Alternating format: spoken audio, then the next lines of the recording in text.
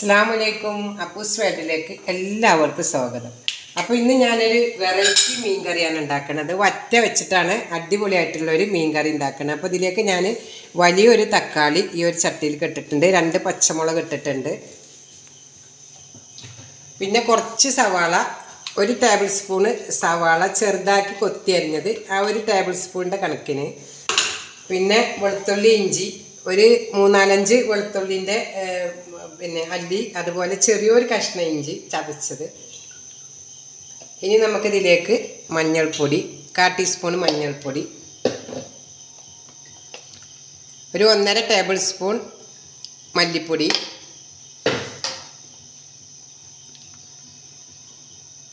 ഒരു table spoon മുളക് പൊടി.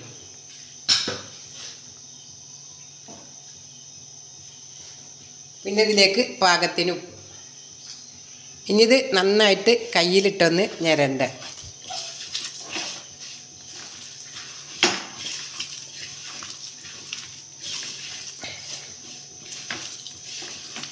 നന്നായിട്ട് കയ്യിലിട്ട്.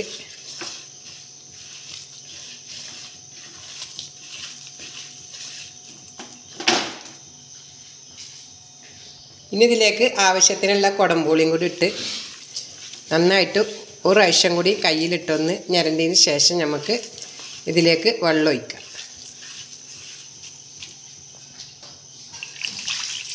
നമുക്ക് വെള്ളം ഒഴിക്കാം. നമുക്ക് കഴുകി വെച്ച ആ ഒരു മീൻ ഇതിലേക്ക് ഇട്ട് കൊടുക്കാം.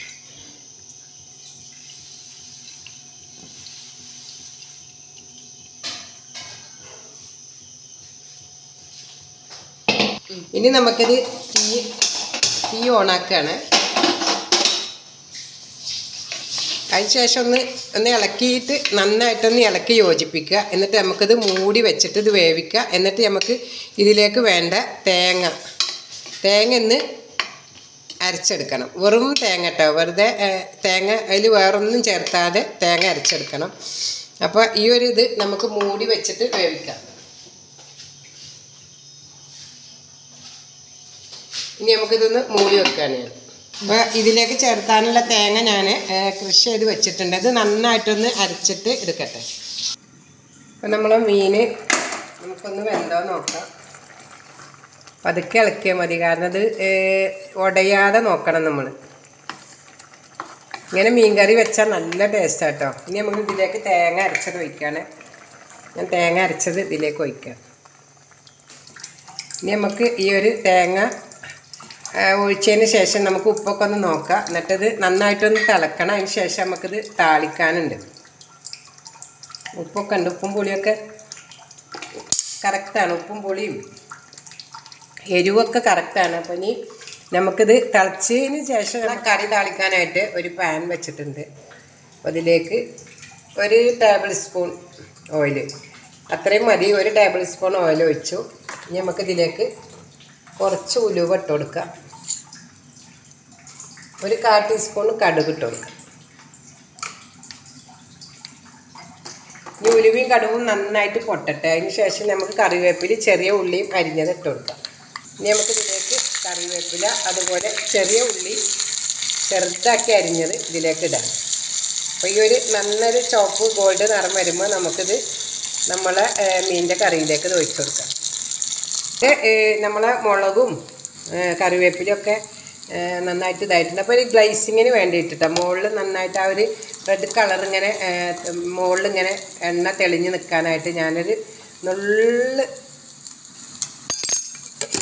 മുളക് പൊടി ചേർത്തിട്ടുണ്ട്. നമുക്ക് ഇനി തീ ഓഫ് ചെയ്ത് നമ്മളെ കറിയിലേക്ക് ഒഴിക്കാം അപ്പോൾ നമ്മളെ കറി നന്നായിട്ട് തിളച്ചുകൊണ്ടിരിക്കുകയാണ്. ഇനി നമ്മൾ ഈ ഒരു കറി ഞാൻ ഓഫ് ചെയ്തു. അതിന് ശേഷം ഈ താളിപ്പ് ഇതിലേക്ക് ഇടാം. ഞാൻ പതുക്കൊന്നിങ്ങനെ ഇളക്കി കൊടുക്കുകയാണ്. നല്ല സൂപ്പർ ഇതാണ്. അപ്പോൾ ഈ ഉലുവട ആ ഒരു ടേസ്റ്റ് അല്ലാതെ എനിക്കൊന്ന് വരാൻ വേണ്ടിയിട്ട് ഈ ഒരു ചട്ടിയിൽ തന്നെ ഈ കടന്നതൊന്ന് തിളക്കട്ടെ ഈ ഒരു ചൂടിൽ നമ്മൾ തീ ഓഫ് ചെയ്തിട്ടുണ്ട്. പക്ഷെ എന്നാലും ആ ഒരു ചൂടിൽ കടന്നതൊന്ന് ത- തിളക്കുമ്പോൾ നമ്മൾ ആ ചെറിയ ഉള്ളിയൊക്കെ തൂമിച്ച് അതും ആ കറിയൊക്കെ കൂടി നന്നായിട്ട് യോജിച്ച് വരും. അപ്പോൾ ഈ കറി സൂപ്പർ കറിയാണ്. എല്ലാവരും ഇതുപോലെ ഒന്ന് ട്രൈ ചെയ്ത് നോക്കണം. ഇത് ചെറിയ ചെറിയ മീനുകൾ കൊണ്ടാണ് ഇതുപോലെയുള്ള കറികൾ ടേസ്റ്റ് ഉണ്ടാവുക. അപ്പോൾ എല്ലാവരും ട്രൈ ചെയ്യുക സബ്സ്ക്രൈബ് ചെയ്യുക സപ്പോർട്ട് ചെയ്യുക. ഇനിയും നല്ല നല്ല വീഡിയോ ആയിട്ട് ഇൻഷാല്ലാ ഞാൻ വരുന്നതായിരിക്കും. അസ്സാം വലൈക്കും വാഹമത്ത്